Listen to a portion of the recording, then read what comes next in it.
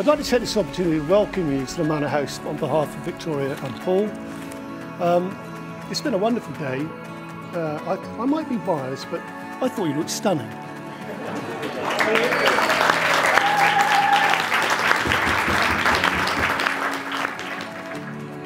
Before I begin my short speech, please can I introduce you all to my wife, Mrs. Victoria Whitaker.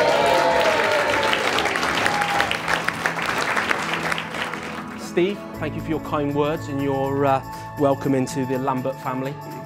Like most fathers on their daughter's wedding day, it's a sad day for Steve, but not entirely in the way that you would imagine. I'm now officially the most talented sports person in the family. Steve, Steve drops to number three, behind myself and Trish. Um, in, in, case any of you are wondering, uh, I'm, I'm Rich and this is Chris, and we are very glad to be the best men at, better work, Wedding of the Year 2018, everyone. Uh, no expense spared with our, our presentation skills. Um, on behalf of both of us, we'd just like to say how absolutely honoured we are to be the best men today. Um, it's really testament to friendships that have endured for over 30 years. Um, Either that or it's testament to the fact that Paul's failed to find a new friend in the last 30 years. And uh, I'd also like to thank you all for, for coming today for what and sharing what is a, a, a wonderful occasion, a wonderful setting. I think you all agree with me just how delightful Vicki looks uh, today on her wedding day.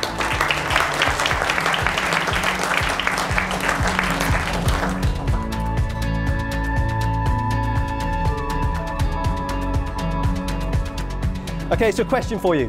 What does Paul Whitaker have in common with the cricketer Kevin Pietersen, uh, the Duke of Beaufort and actor Jamie Dornan?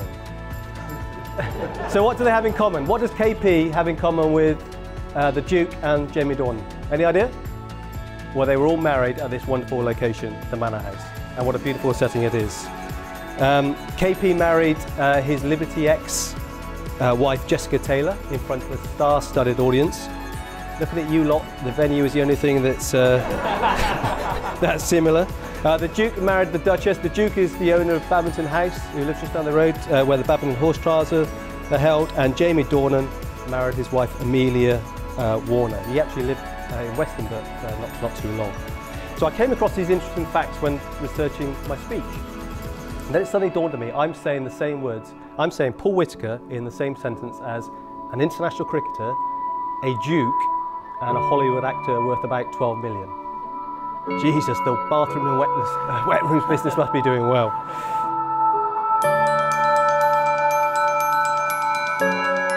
In my younger days, I met girlfriends' parents who, in some cases, particularly the father, could be extremely difficult. And I made a view, uh, a vow that if I had daughters, I would always welcome boyfriends, whatever the circumstances. And I have to say, present company accepted, you did test my patience, you two. Paul and Victoria have been together for more than eight years. It, yeah. And it's been interesting to see the relationship grow. They used to visit us in Cyprus. We're often at home in Ross as well for Sunday lunch. The lunch invariably ended in confrontation.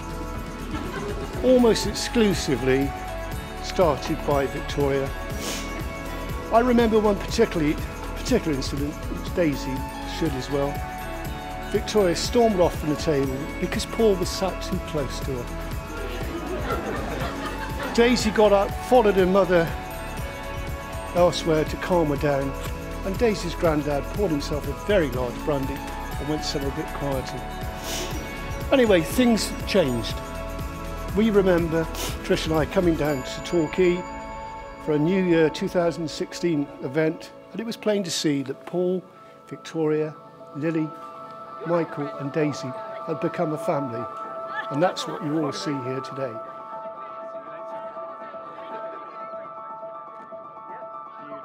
Could I please start by asking who brings Victoria to be married to Paul today? I do. Thank you very much. Steve. And I'd like to take a seat with you, thank you. I don't normally sweat the small stuff, but when Vicki and I started dating, it was actually nine years ago, Steve, it, it wasn't.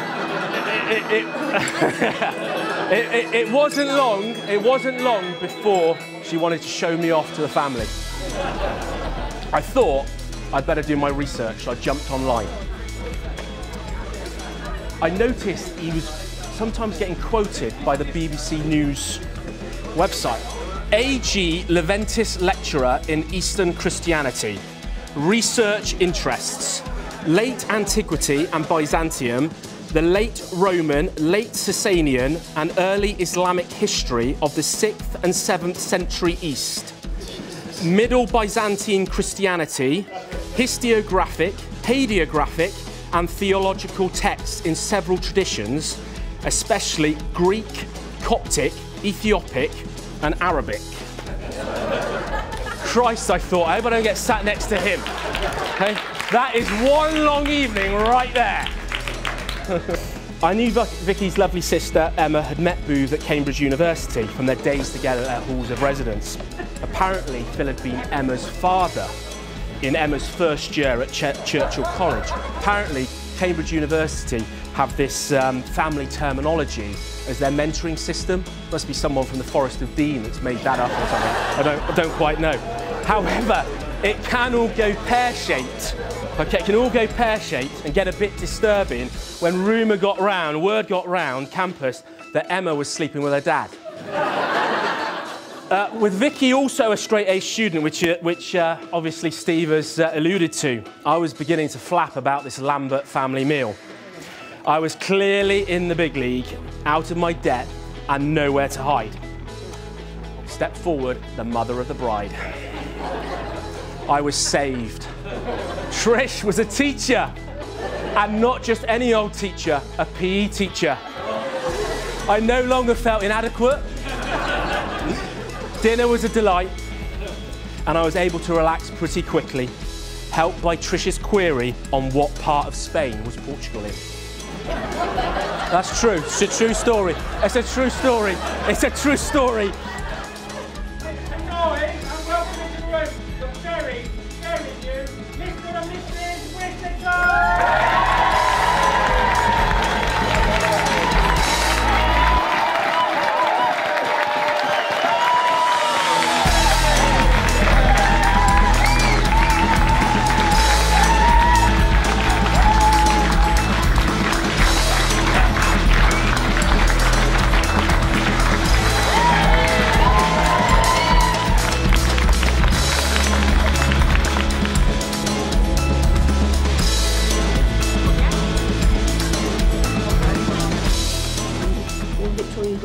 Face one another and hold both hands in order to say your marriage vows to each other.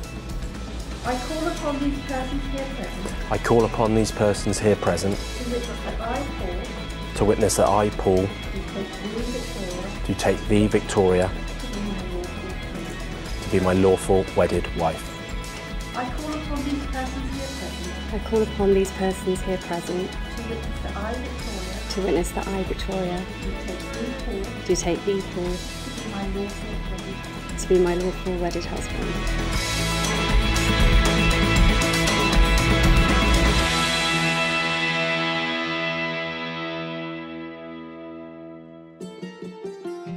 It's a very sad story. It's a very, very personal story, which I've never told before, actually. Never told before.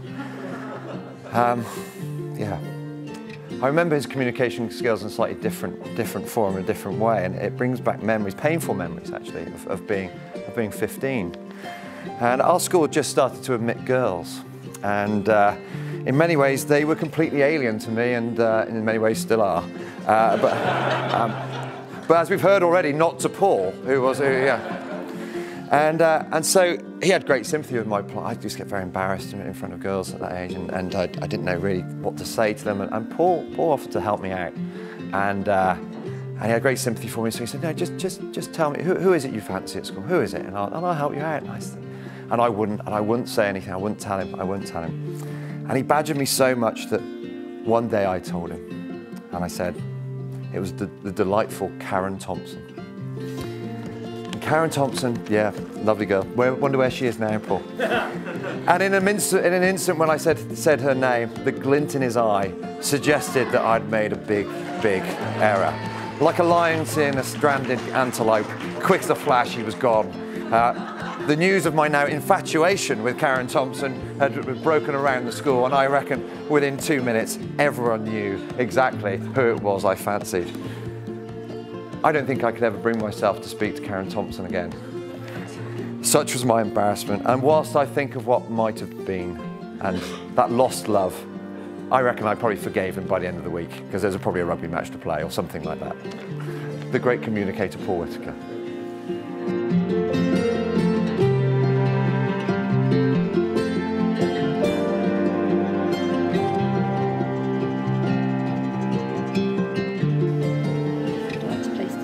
Third finger of Victoria's left hand. And hold it there while you say these words. Victoria, with this ring, Victoria, with this ring, I promise to love and cherish you, I promise to love and cherish you, comfort and care for you, comfort and care for you, honour and protect you. Honour and protect you. Throughout our lives together. throughout our lives together.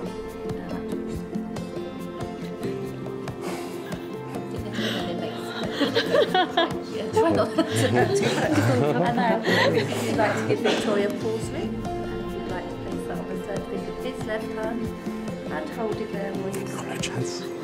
Paul, I give you this ring Paul, I give you this ring as a symbol of our marriage, as a symbol of our marriage and as a sign of my solemn promise and as a sign of my solemn promise to show you love, loyalty, and respect. to show you love, loyalty, and respect. I promise to be faithful, I promise to be faithful good times and bad, both good times and bad throughout our life together. throughout our life together. And I'd like to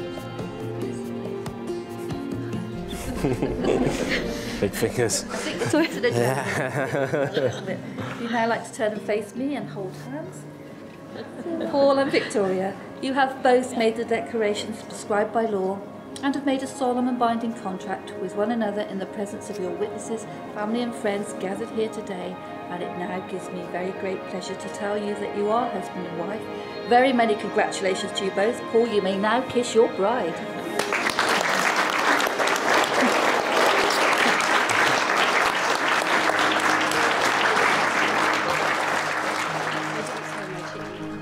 Now, after all that, I turn my attention to the star attraction, Mrs. Whitaker. Vicki, I am truly, truly blown away by how beautiful you look today. I am incredibly humbled and unbelievably lucky to stand in front of our family and friends as a 41 year old, balding, tubby bathroom salesperson. uh, with you by my side. now is the uh, perfect opportunity to tell you all about Victoria, aka Vicki. There were two very obvious reasons why I fell in love with Vicki. And uh, let's not make this smutty. Hey, Spacey, much more than that, and you'll be asked to leave.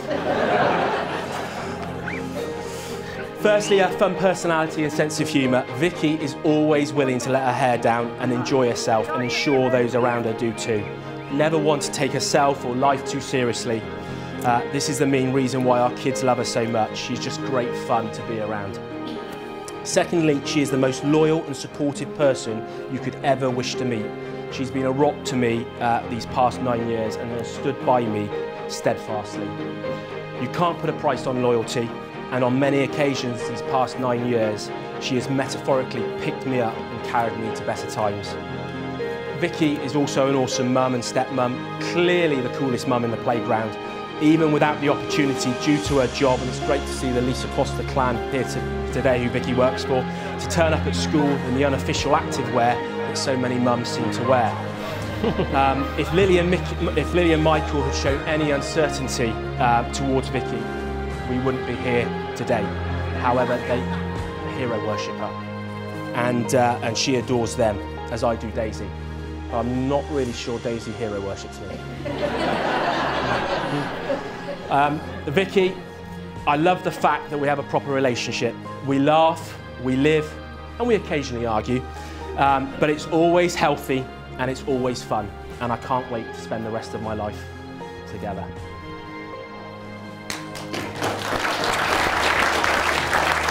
Um, and ladies and gentlemen, I introduce for the very first time Mr. and Mrs. Whitaker.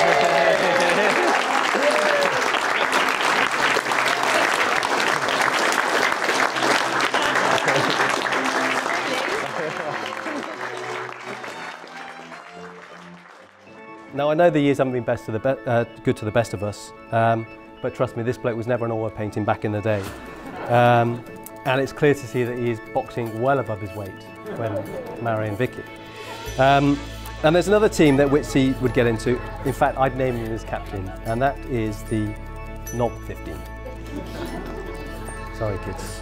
Uh, no, this is actually a compliment. So the Knob 15 is always made up, you know, those players you hate to play against. They're combative, they're in your face, they're, um, you know, they're overly competitive. They've always got a piece of advice for you in your ear. Um, they're often described as a nightmare to play against, but the first people you'd want in your team. Um, now this couldn't be true of our mate Witsy. Don't get me wrong, you know, he was never the kind of William Wallace type of, uh, of leader, and he would never go down in history as one of the great, uh, great captains. But if there was a situation that I was in, or a team that I'd want to be a part from, um, he'd be in it for me. In fact, this bloke would be the first person on my team sheet every time. In all seriousness, before we before we, we finally leave the stage, um, everything, thank God for that. Um, we, Paul's been our friend for, for many years, as, as we've said, and uh, as we know, life is not always straightforward. It's not always uh, a, a, bed of roses, but um, I think I can certainly say from my own experience, when when the chips are down, when you need a friend, Paul has always been there. And we might be times when we don't even speak for, for a number for some time, but then when you come back together, it's exactly as it was when you left. And I think that's the mark of a true friend. And uh, so I'm, I personally, I'm very thankful that I can count um, Paul as one of my best friends, and uh, and I'm sure uh, Chris the same as well.